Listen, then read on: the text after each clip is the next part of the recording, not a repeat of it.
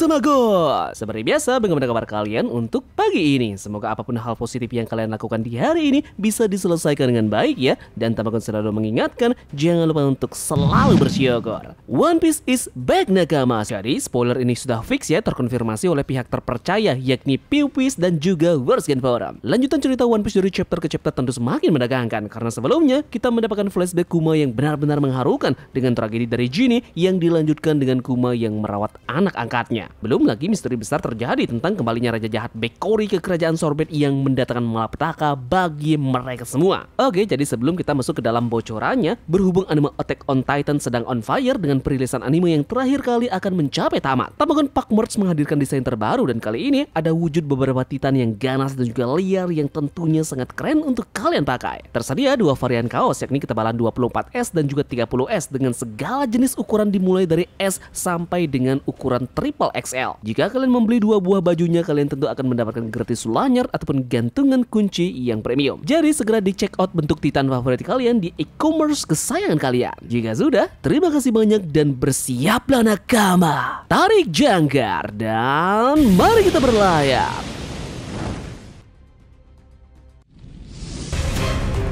One Piece chapter 1099 kita kali ini diberi judul Pecinta Perdamaian. Chapter dimulai dengan kembalinya Raja Bekori dengan beberapa pasukan marinir yang telah mendapatkan dukungan pemerintahan dunia sebagai raja yang sah di negara tersebut. Mereka berulah di negara tersebut. Beruntung saja ada Kuma yang sendirian menghancurkan mereka semua dan menjadi simbol raja setelah banyak tuntutan, sementara orang lain benar-benar menjalankan tugas kenegaraan. Dalam chapter ini pun terungkap bahwa Boni memakan buah iblis Toshi Toshinomi, buah umur umur-umur yang secara tidak sengaja memakannya. Menjengkelkannya adalah bahwa Raja Bekori datang kembali dan dialah yang menyebarkan desas-desus tentang Kuma yang menyapanya sebagai tiran. Bekori menyerang kerajaan Sorbet lagi dan Kuma menghancurkan mereka semua untuk kesekian kalinya. Setelah itu, Kuma memulai kru bajak laut dan memiliki julukan tiran. Di sisi lain, Dragon memberitahu Kuma lokasi dari Vegapunk yang ada di Pulau Egghead. Kuma dan juga Boni pun mengunjungi Vegapunk di Egghead. Kuma setuju untuk menjadi prototipe cloningan proyek pemerintahan dunia yang dikenal sebagai Pacifista, di mana ini adalah pertukaran untuk menyembuhkan Boni secara gratis. Vegapunk memutuskan untuk menamai proyek tersebut sebagai Pacifista saat Kuma bilang, aku pecinta damai. Ini adalah kata yang sama dalam bahasa Jepang. Nah, sementara itu, terakhir Senji Garcia Saturnus menguping pembicaraan mereka berdua. Dan informasi yang paling berbahagia bahwa di minggu depan chapter akan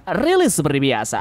Seperti biasa, Tamang akan memberikan pendapat terkait dengan beberapa informasi yang sudah kita dapatkan di bocoran chapter One Piece 1099 kali ini. Nah, dalam chapter ini pun kita sudah jelas mendapatkan beberapa temuan terkait dengan alasan mengapa Kuma dijuluki sebagai tiran, karena itu adalah ulah dari Raja Bekori. Kemudian setelah itu pun kita mengetahui bahwa Boni secara tidak sengaja memakan buah iblisnya, dan terungkap fakta bahwa memang benar alasan mengapa Kuma mau dijadikan sebagai bahan uji coba ini jelas ada kaitannya dengan penyembuhan dari anak angkatnya secara gratis. Vegapunk sepertinya akan membantu mereka mencari obat untuk Sapphire Scale. Dia kemungkinan besar dapat membantu di mana dokter lain tidak bisa melakukannya karena penemuan besarnya tentang faktor silsilah. Tampaknya melalui eksperimen Vegapunk terhadap faktor sisila dan buah iblis inilah dia menemukan obat dari Sapphire Scale. Jika penyakit Boni maksimal di tubuhnya adalah pada usia 10 tahun, maka buah iblis yang memungkinkan memanipulasi usia seseorang tertentu dapat menyembuhkannya. Dengan pengetahuan tentang faktor silsilah inilah, Vegapunk kemungkinan besar mampu mengidentifikasi akar penyebab penyakit tersebut dan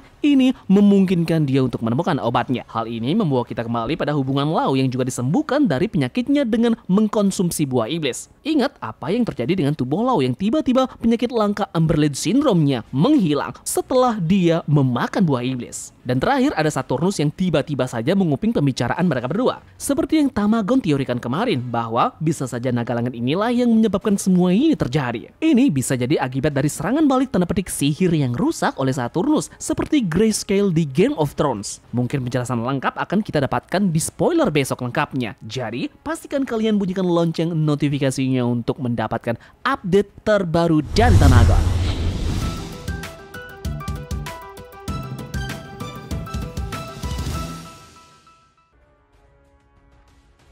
Seperti biasa jika kita membahas tentang spoiler terbaru One Piece, kali ini Tamagon juga sudah siapkan beberapa informasi unik dan juga menarik terkait berita One Piece yang sudah beredar seminggu belakangan ini. Informasi menarik pertama di minggu ini yakni mengenai isi dari SBS Format 107 yang kemarin kita bahas. Kali ini ada beberapa tambahan informasi yang kita dapatkan dalam SBS ini. Dimulai dari perubahan revisi buku Sanji pada Color Sprint One Piece Chapter 1081. Di sana di buku Sanji tertulis cooking yang menggunakan C dan K kemudian diralat dalam SBS ini menjadi cooking C O O K. Kita juga bisa melihat Usop yang dalam bentuk gear vibe milik Luffy. Kemudian informasi lainnya mengenai cambuk Kujaku disebut Beethoven atau plesetan dari bacaan kajiannya Beethoven atau cambuk tempur militer terbuat dari baja bahkan bisa membelah batu menjadi dua. Kemudian Oda juga mengkonfirmasi bahwa salah satu anggota dari tentara revolusi bernama Jiron ini terinspirasi dari Jiron Amos dari anime Lama Combat Mecha Zabule. Dan terakhir Oda mengkonfirmasi juga bahwa dia terinspirasi oleh acara TV klasik Jepang bernama Ganbare Robocon